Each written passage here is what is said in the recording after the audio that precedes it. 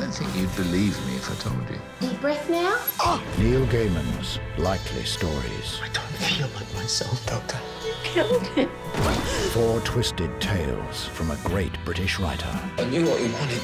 I could see it in his eyes. It's a true story. Take a look inside.